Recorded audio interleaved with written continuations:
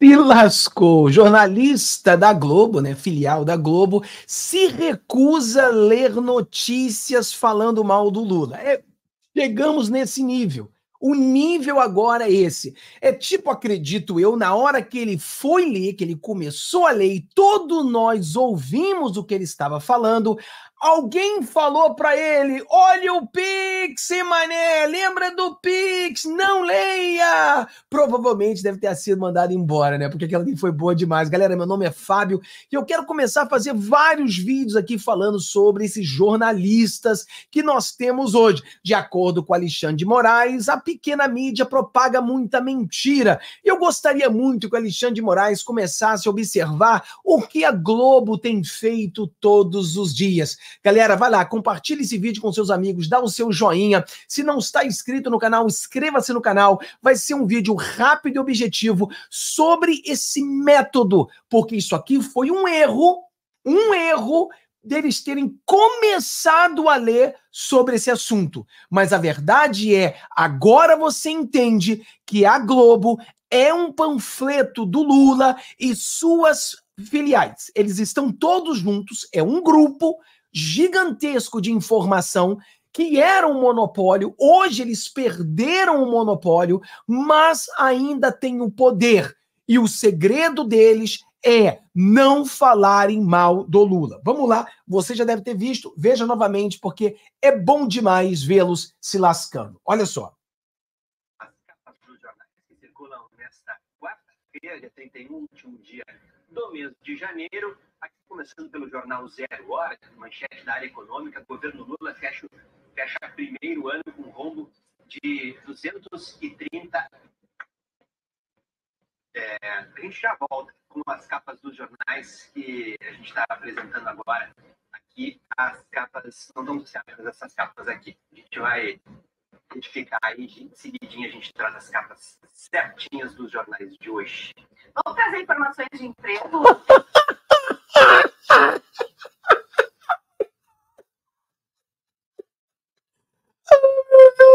não dá pra esconder mais, não. Tipo, mas tem que trazer só matéria falando bem do Lula. O que, que vocês estão fazendo? Mas não tem que fala bem do Lula. Vamos inventar o que mais? Tá ruim na economia. Tá ruim porque tá com uma divisão no Brasil. A pobreza aumenta. O Yanamis está morrendo. A guerra, o cara protege Hamas. Na outra guerra, o cara protege o Putin. Na Venezuela, ele é amigo do venezuelano. Não tem o que a gente consegue mostrar de bom. O cara não comprou vacina para o dengue. As, as estatais estão todas em vermelho. A economia só afunda. Então não tem matéria nova, não tem coisas boas. Então faz como a outra lá, a tal da Lima, mente. Diz que o Bolsonaro tinha um laptop, um laptop extraterrestre na mão dele. Diz isso. Ou inventa mentira maior. Diz que quando a polícia chegou, o Bolsonaro pulou o muro, entrou no barco e fugiu para a Argentina para ficar junto com o Milley. Inventa alguma história, mas não dá para contar a verdade do governo Lula sem você mostrar as cagadas que esse governo faz. Não adianta. A única coisa que sobrou para o Lula é o Pix que ele dá para as emissoras para falar bem dele, para propagar essa mentira. Mas ele já falou: foi um rombo de 230 bilhões que foi um dos maiores rombos da história.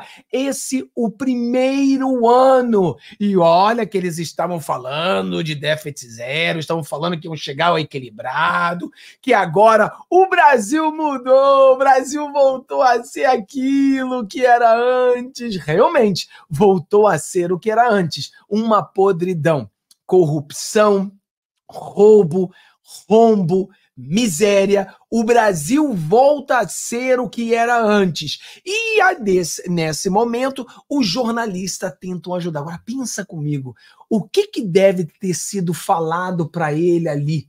no ponto. O que, que alguém falou para ele? O que, que o chefe dele disse? Hein? Vá no comentário, diz para mim o que, que você acha, né? Porque ele começou a ler, né? Ele começou a ler a matéria. Ah, ah dos, o rombo, o governo Lula tem rombo de 230. Aí ele para faz aquela cara assim de pastel, tipo, mano, alguma coisa tá errada. Quer dizer, a matéria tá certa, a matéria é verdadeira, mas eu não posso dizer isso. Então, alguém deve ter falado ali. Ele ia ler a coisa toda. Alguém. Para, para, para, para, não, mano. Não lê, não, não lê, não. Essa matéria fala ruim do, fala ruim do papai. Essa matéria fala mal do papai. Não fala mal do papai, não. Papai Lula. O papai cachaceiro, ele dá o pix pra gente, não fala agora dele, não. Então, certamente, cara, eu tenho certeza absoluta que alguma coisa foi dita. Vai no comentário, diga para mim o que, que você acha que foi falado ali. Então agora você entende. Fábio, para um impeachment do Lula, a gente precisa do povo nas ruas, né? Precisamos das pessoas nas ruas. E para as pessoas irem para as ruas, eles precisam ver o que o Brasil está se tornando. Mas o Lula, ao invés de investir na economia, o Lula investe na comunicação. Por que, que ele investe na comunicação? Porque o mundo ele é movido por percepção. A percepção. Por exemplo, tem pessoas como eu que têm a percepção de que nós iremos virar o jogo. Eu vejo a vitória, eu vejo que nós iremos vencer. Outras pessoas, eles têm a percepção que já era, que nem eleição vai ter mais. Isso é uma percepção. A gente está olhando o mesmo país e as pessoas estão dessa forma, porque umas escutam umas coisas, outras escutam outras coisas. Então a grande mídia, ainda que o Brasil esteja ruim, se eles propagarem uma percepção de que o Brasil está bem, só falar bem do Lula, vai ter uma percepção de que o Lula tá tendo, é um bom governo. É tipo, eu sempre falei para vocês sobre o jogo de futebol. Existem jogadores medíocres que a mídia os fazem grande. Por quê? É só você só mostrar os melhores momentos e começar a falar bem o tempo todo. Porque até um jogador medíocre tem bons momentos.